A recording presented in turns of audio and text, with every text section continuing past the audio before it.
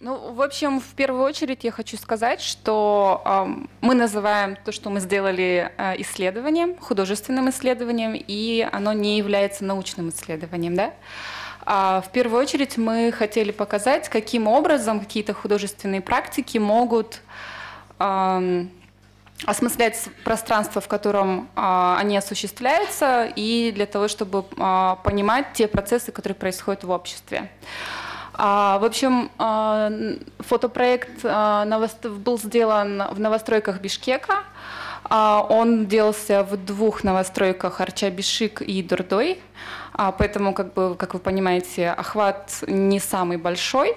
Но какое-то представление о новостройках можно сложить, потому что Арча-Бишик и Дурдой находятся как бы если так можно сказать, в разных полюсах по а, по заселенности и по тому, в каком социальном и экономическом положении находятся люди, которые там проживают.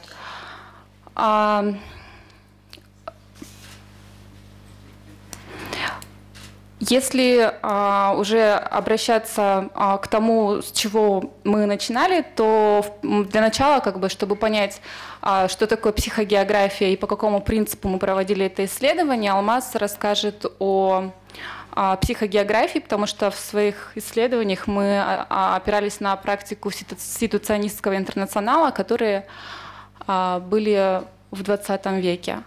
Вот, сейчас Салмас коротко введет, а потом мы уже переведем к непосредственно а, проекту новостроек. Спасибо. А, собственно, как сказала Диана, мы обращались к практике дрейфа и к дисциплине психогеографии. А, сейчас я дам небольшую буквально историческую справку.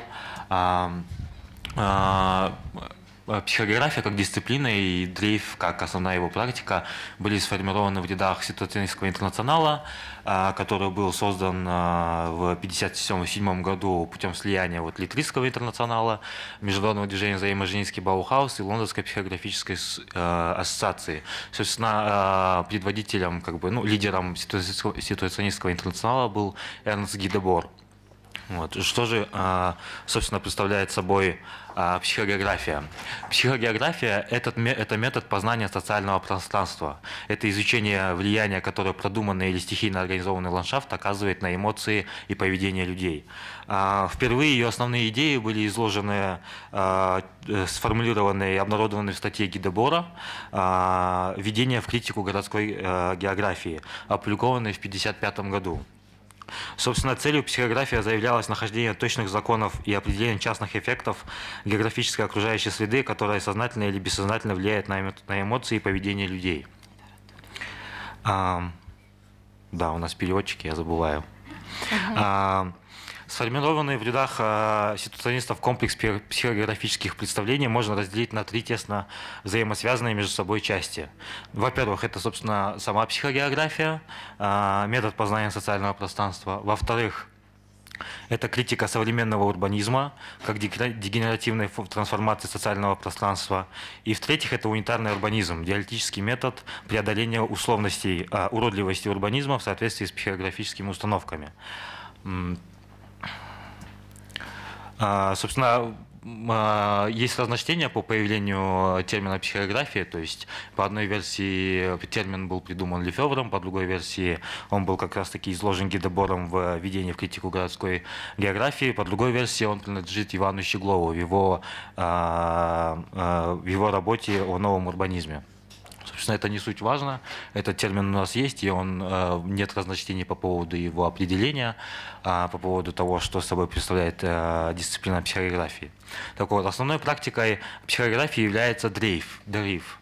А, дрейф – это техника быстрого перехода через меняющуюся атмосферу, средство субъективного преображения городского пространства. А, дрейф – это попытка понять повседневную жизнь города с помощью нетрадиционных, непривычных, придуманных и непродуманных заранее маршрутов. Альтернативный э, способ осознавания города. Собственно, Здесь, наверное, стоит э, вспомнить основной тезис, один из основных из девяти тезисов гидобора по поводу дрейфа. Это, я процитирую его буквально, мы должны изменить передвижение на, как придаток к работе на передвижение как удовольствие. Mm -hmm. Для, дрей, для дрейфа принципиально важен полный отказ от привычных маршрутов. Идти следует туда, куда глаза глядят, ориентируясь лишь на достопримечательности ландшафта или на, и на собственные эмоции исследователя. А, также для, для дрейфа были э, сформированы а, некоторые правила гидобором. Это вот испытать и зафиксировать какое-нибудь ощущение, собрать объективные и субъективные данные, разделить их со спутниками и сделать выводы. Собственно, а, эти правила не так императивны, их не обязательно как бы придерживаться, но вот сам Дебор говорил о том, что дрейф желательно осуществлять в группой э, людей, потому что он считал, что э, синтез субъективных ощущений, эмоций и выводов э, может привести к наиболее объективным э, выводам. Психологические аспекты дрейфа. Это изучение того, как городское пространство влияет на осознание человека и узость действительного пространства, в котором мы э, перемещаемся. Э, если говорить про узость, то применимо к к повседневной жизни каждого человека, который перемещается даже, вот, скажем, в Бишкеке, в определенно в очень узкой комфортной зоне, да, и если принимать, там, скажем, передвижение как придаток к работе, то он всегда обусловлен, он всегда базируется на наиболее рациональном, наиболее коротком пути, там, скажем, из дома на работу. И также, ну, и также, кроме работы, и наш досуг, он усужен для определенного, определенного образа о городе, то есть это какие-то любимые места, могут быть кофейни, кофейни, какие-то а, наиболее освещенные и с ровными тротуарами улицы, да, то есть мы, мы никогда не воспринимаем город в целом, он никогда не является, а, он всегда разный для каждого человека, потому что это город есть как раз-таки совокупность его субъективных эмоций, а, его ощущений и его как бы зоны комфорта. Вот. Да. Итак, знания, полученные путем дрейфа, позволяет создать психографический образ города. А, то есть, собственно, наша зона комфорта, в которой мы передвигаемся, узкая, это тоже психографический образ города. Но он как бы он аффлексивный, да, он не критичный, он, он и, наверное, инертный более. А, практика дрейф это как раз таки э, это, это дрейф критический с конкретным э, с осознанием, с фиксированием того, что ты видишь, с э, постоянной рефлексией о том, что ты видишь и как ты передвигаешься. А, также они позволяют находить в нем общие черты, изучать, как эти черты проявляются в разных районах. А, находить основные психографические точки города, понять психографическое расстояние между двумя районами, которое может сильно отличаться от физического расстояния между ними. То есть, э, если говорить о психографическом образе города, который обусловлен нашими э, эмоциями и ощущениями, то два абсолютно разных, э, отдаленных друг от друга, даже полярных географические места могут быть в, с точки зрения там, психографического образа, они могут быть очень похожими. Также и район внутри себя может иметь довольно разные противоречивые, может даже, или просто разнородные, разнородные какие-то образы. Вот. И там дальше у нас идет карта. Вот. Для ситуационистов, когда они вот разрабатывали практику дрейфа, было важно, а, был важен метод фиксации этого, этого самого опыта дрейф. И была предпринята первая попытка, собственно, вот, э, гидебором сформулировать этот язык для фиксации опыта. Собственно, это был, ну, это был текст, это была статья, то есть это э, были, был, была статья, которая называлась «Два доклада о дриф». То есть э, весь опыт, который был э, приобретен в, после, в, в дрейфе, он был изложен в тексте, но они э, как бы пришли к выводу, что текст как медиум не самый как бы не самый удачный э, для фиксации опыта дриф. Собственно, и после этого они, э, вот Гидебор решил обратиться к картографии. То есть есть эм, как мы знаем, есть картография, это вот э, такая географическая картография, где, собственно, все мы видели эти туристические карты, просто карты города, где географически размещены все эти районы, показаны улицы и прочее. Вот. Но э, географическая, географическая как бы карта города, она часто выстраивается, получается, параллельно субъективная карта города. И, и им пришла как бы мысль о том, что создать именно психографическую, психографическую карту. Это собственно, вот эта карта, сейчас я о ней подробно расскажу.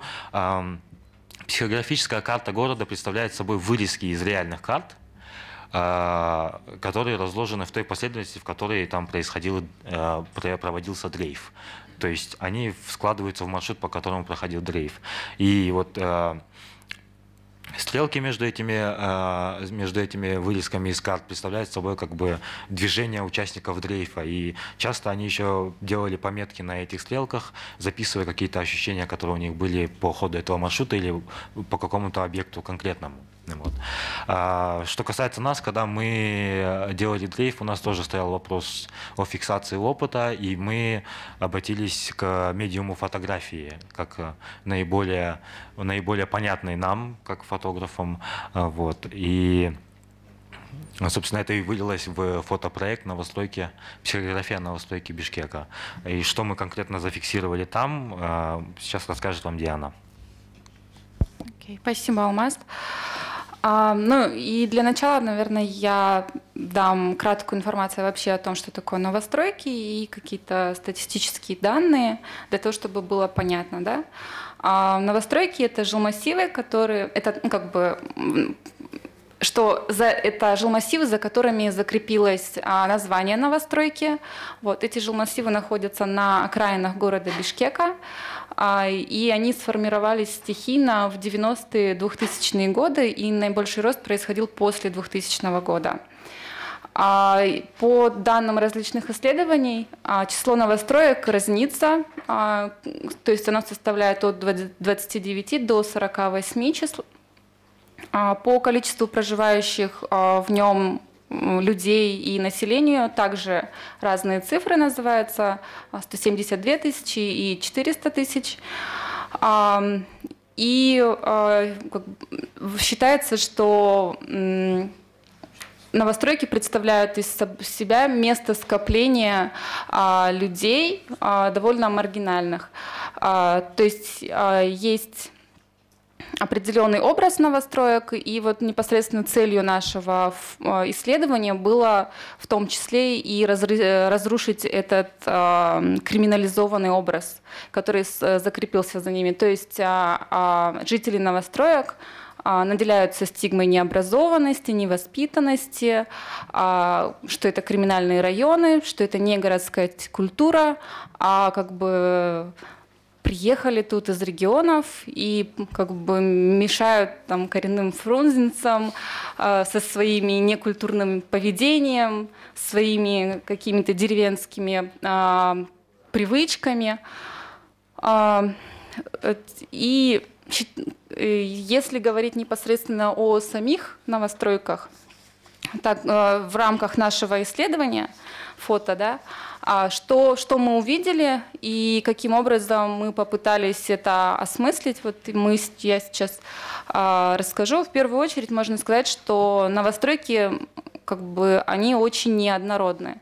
А, то есть а, в них проживают а, разные люди с различным уровнем достатка, а, с различным а, уровнем доступа к, к возможностям.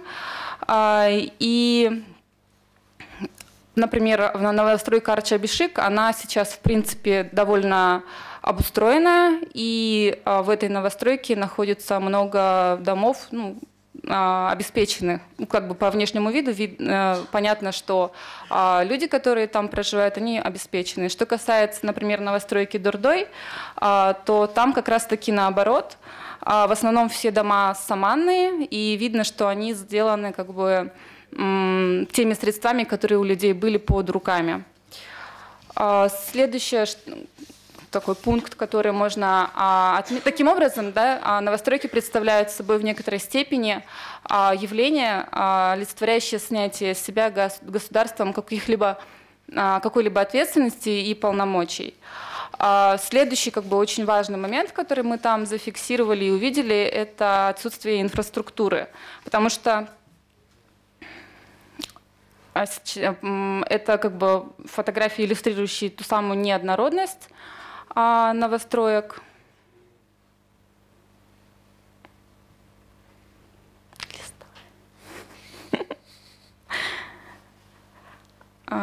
И одной из самых там была надпись квартира Берлет, сдается квартира. А, ну, это довольно очень аттрактивная фотография. А, так вот, судя по количеству объявлений о том, что а, предоставляются душевые услуги или сдается комната, или сдается квартира, понятно, что вопрос с инфраструктурой и обеспеченностью жителей этих новостроек необходимыми благами, а, он очень остро стоит. Наиболее а, распространенным или там присутствующим а, элементом как бы необходимого для жилья является электричество и вода. Но вода в основном как бы в виде колонок, ну и, и как бы электричество, оно оно есть, но, например, что касается канализации, то обеспечение практически отсутствует. Как бы по данным исследователей, которые занимались исследователем новостроек, а, говорится, что там где-то 6% только из них как бы обеспечены а, необходимыми а, необходимой инфраструктурой. Что касается следующей А в новостройках практически отсутствуют а, какие-либо объекты по обеспечению сейчас отсутствуют а, а, пространства, а, которые являются общественными. То есть а, есть, а, за исключением там нескольких а, пространств, Э, в основном либо природного ландшафта, и также мы нашли э, на территории Арча Бишик новостройки детскую площадку, которая являлась довольно сюрреалистической, как бы, потому что там заброшенные старые детские качели и какие-то вещи. Вот. Но в целом а, публичного а, места общественного пространства для того, чтобы люди могли солидаризироваться, их нету. А, и сегодня одним из таких мест является мечеть, поскольку в новостройках довольно много их строится. И понятно, что в ситуации новостроек единственное место, где люди в итоге получается таким образом, единственным местом, где люди могут каким-то образом солидаризироваться, является религия. Да? Но что, понятно, говорит о, о росте консерватив, консервативности в обществе и о каких-то патриархальных тенденциях. А, также новостройки в меньшей мере а, включены в а, рыночное потребление – то есть там практически отсутствуют развлекательные места, кафе там, или еще что-то. Таким образом, понятно, что это пространство даже рынком которому всегда выгодно искать а, новые места для сбыта, как бы предоставления услуг и сбыта своих товаров, эти места до сих пор и, и им в том числе не рассматриваются как источник прибыли, во-первых, потому что там считается, что, что живут очень а, бедные люди, а во-вторых, потому что это очень криминальные районы, и поэтому туда идти невыгодно.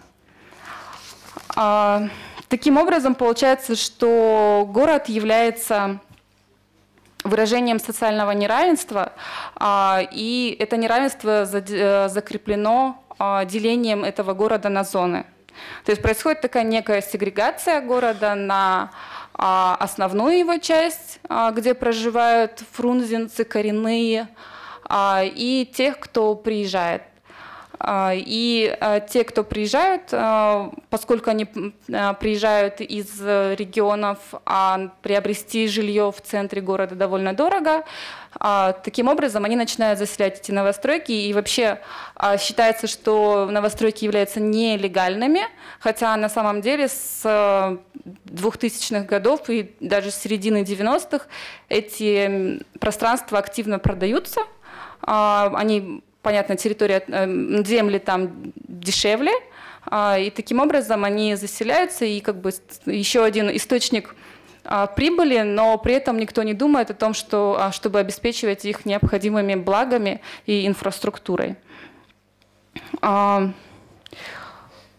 И э, работники, ну и жители новостроек в основном э, являют, работают в сфере э, услуги и тор, сервиса и торговли. Например, многие из них работают на рынке Дурдой, многие работают на рынке Аламедин, а также в швейной промышленности. Вот. Таким образом, эти люди, которые маргинализируются, при этом являются а, основными а, производителями в нашем городе.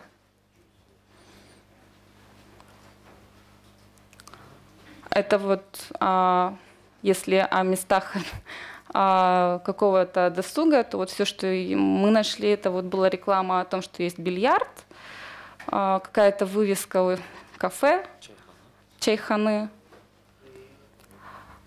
И да, для того, чтобы максимально не объективировать это пространство, мы старались фотографировать себя, находясь в этом пространстве, а, не, не людей, которые там проживают, и не просто пространство. Таким образом, как бы а, мы пытались в том числе присвоить это пространство. А, ну и как бы есть, вы можете посмотреть на сайте фотографии в дальнейшем. То есть есть сайт photodrift.me, а, на нем выложены наши дрейфы, сейчас их три. А, ну и вообще, если вам интересно, это сайт о фотографии. Вы можете э, здесь найти довольно интересную информацию, например, статью о Оксаны Шаталовой о местных фотографических художниках. У меня все. Спасибо большое, ребята.